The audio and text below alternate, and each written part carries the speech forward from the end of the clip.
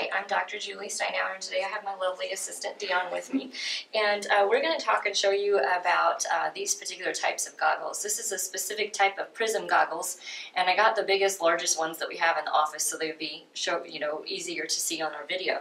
Uh, but we do have these in varying um, dimensions in terms of powers, and what we utilize these for is a lot of activities in vision therapy, but we're going to have Dion demonstrate one of them. So I'm going to let her put these goggles on. And then Dion, as you look at the, as you look, we'll turn back this way, as you look at the walls, maybe even like the door frame back behind Mhm. the camera over there, what do you notice about the door frame? Does it appear straight to you? No, it's bigger. hmm What Um, else? It's like it's just a real narrow corner, real narrow, Okay, and the walls seem really large beside me. okay. Does it seem straight to you? So if No. you're going to run your hand up and down it, would it look straight? No, What does it look like instead? looks like it's curving. Okay.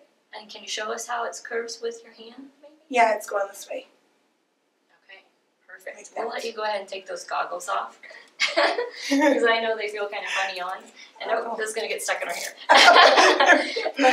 right, so um, with these goggles on, what they do is they alter our perception of how we see things. So we can utilize these in therapy to rearrange someone's uh, perception visually, um, alter them, um, also improve their ability to visually discriminate information. Because I had Dion to tell me very specific things about what she saw. So for more information about how we use prism glasses and do other activities in vision therapy, go to our website at visionforlifeworks.com. Thank you.